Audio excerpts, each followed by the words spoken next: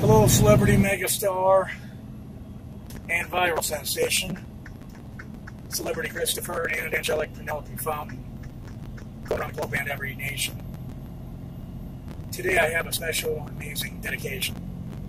I'm out here leaving Denver, Colorado. I was on my way to Steamboat, Colorado to deliver a shipment of beer, and I got stuck in traffic.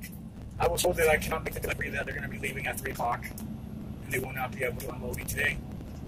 So instead of sitting in traffic or sitting at a company that cannot unload me, I decided to go eat prime rib for lunch. It's only 1.47 p.m. out here. I went a little bit off route to a city called Black Hawk, Colorado. It's an amazing, wonderful, spectacular place over here. It's very beautiful. I love mountains like this. I would like to hike it someday, if I can. To go camping, hiking, everything related to outdoors. Boating, kayaking, I don't know. The truth of the matter is, I'm here going into Black Hawk, Colorado to eat prime rib for lunch. You know, I'm not going to lie to you, these memories that are on this road for me were not only me alone, they were me and my angel, Angelic Penelope Fountain. You see, the last time I came out here to Black Hawk, Colorado, that angel was with me. And I'm not going to lie to you, everywhere I go in the country, the memories are just so severe for me. I remember the wonderful times that her and I had together. We were bonding all over the country. I mean, we had specific bonding days. A little girl, I bought her prime rib from the same area in Blackhawk the last time her and I were out here apart. I'm not going to lie to you, I am very happy to be back here, but to be honest with you, not without the girl, which obviously I can no longer ever bring her with me. This is kind of a happy moment, but to be honest with you, it's very sad as well. As I climb up these mountains that are over thousands and thousands of feet high in the sky, you can see that I'm climbing straight up as if I'm climbing up a ladder.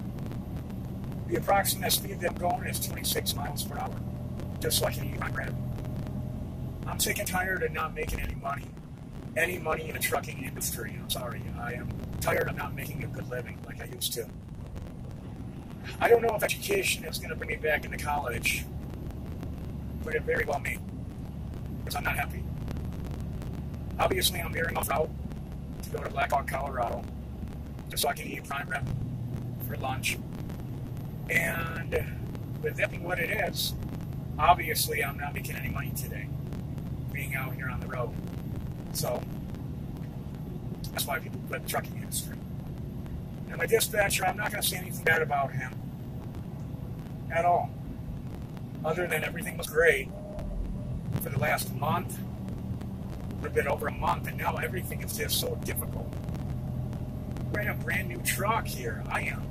It's not mine, it's my company's, but how can they be making very little money with a $150,000 rig, not to mention the trailer cost.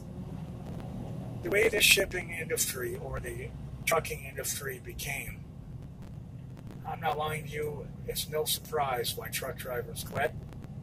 It's no surprise why dispatchers get into different lines of work. And brokers, when they have been calling me recently, this is the funniest part of this video. These young fucking punks think they're going to get me to run ragged all over the fucking highway and break every DOT law in the book. And I can't stress out enough these stupid, sorry son of a bitches. But look, I'm a truck driver. You're sitting in an office looking at a computer screen. It don't matter how much the shipment cost. My life is worth more than any of your shipments. Now, if I end up upside down over a canyon, the shipment will not be delivered anyways, so let's face facts. Obviously, me going into Black Hawk, Colorado right now, I won't be able to make it to this delivery that's paying nothing at all to begin with till tomorrow at 8 o'clock. To me, it's not worth it. But okay, the scenery, it may be worth it. The scenery. Sometimes I feel that the industry just collapsed so badly that autonomous trucks may be in the near future if a trucking company can even get through this recession and earn enough money to buy them. Because as long as we are human beings, we have to have marketable skills.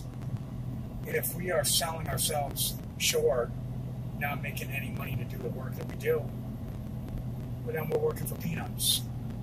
I don't work cheap. Illegal workers do. You know what I'm saying? Ain't. I'm going to end probably quitting this company. Maybe, maybe not.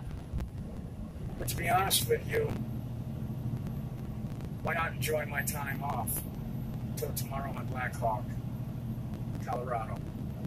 Why wouldn't I? You know what I'm saying? Celebrity Christopher and angelic Penelope Fountain, internet megastar and viral sensation, known around the globe and Black Hawk, Colorado, in this nation. Thank you for watching this special presentation of the failing trucking industry, creating truck drivers to panic by not making the money that they need to and veer off route to go to Black Hawk, Colorado, which is a spectacular place, by the way. But most importantly, it would be depressing to me as well as you if you did not know what is actually in Black Hawk, Colorado, to make me veer off route to get here. The answer is casinos. Ha ha! Yes, every time I come here, I bang them real good. Maybe today is just another day.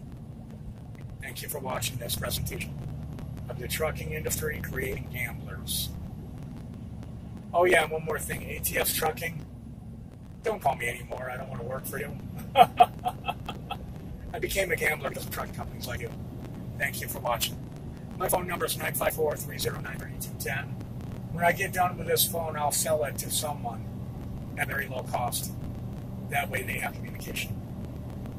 So make sure you contact me immediately if you want to reach the real celebrity. Thank you very much for watching. Welcome to Black Hawk, Colorado.